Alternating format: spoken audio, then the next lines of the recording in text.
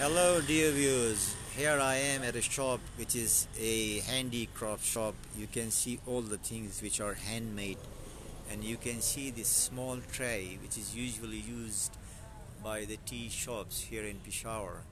Usually they serve green tea on it. It's highly decorated and the colors are great and flower on it.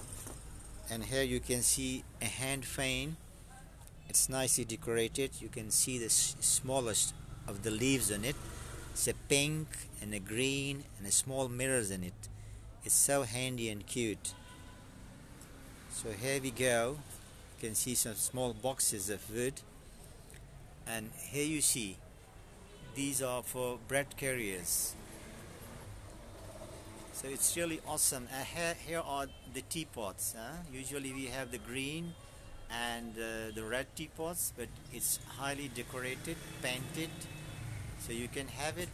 Whenever you come to Peshawar you must visit this place. It's in Namak Mandi in front of the Empire Hotel.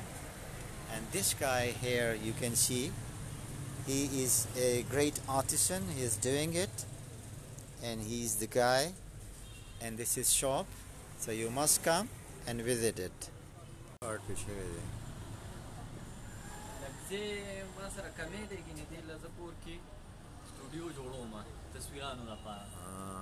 وګوري کنه دا په خپل چودري جوړ کړي مڼه جنکی خپل خپل جنکی راځي نو بس هغه غیر سره غب شپ د پاره کنه لپ چپ لپاره ا تا غب شپ د پاره او بس دا سوټه موټه پیو وخی کنه لاس ماس لګولې نشي هغه نه پری راځي نه کې هغه ته خپته